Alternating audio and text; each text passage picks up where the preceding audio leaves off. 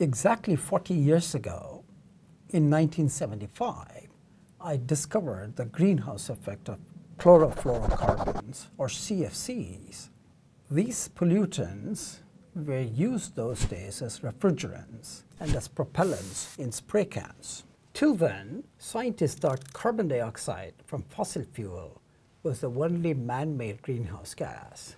My work showed these CFCs were more than 10,000 times potent than carbon dioxide.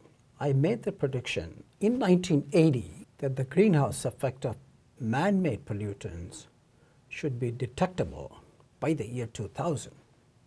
And the planet started warming significantly past 2000, so the prediction was confirmed.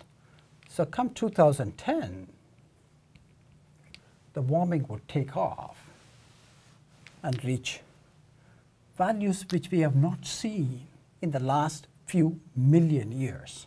Can we do anything to stop this warming and bend the curve within 20 years from now and stop the warming reaching catastrophic levels? Fortunately, we can.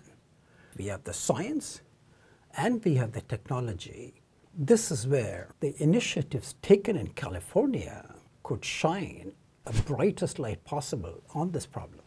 The carbon neutrality initiative of University of California, through which we would go to nearly zero emissions another 10 years, and then combine that with the state of California's aggressive actions to mitigate climate change by using solar, fuel cells, and waste gas can provide like a beacon for the nation and for the planet to follow.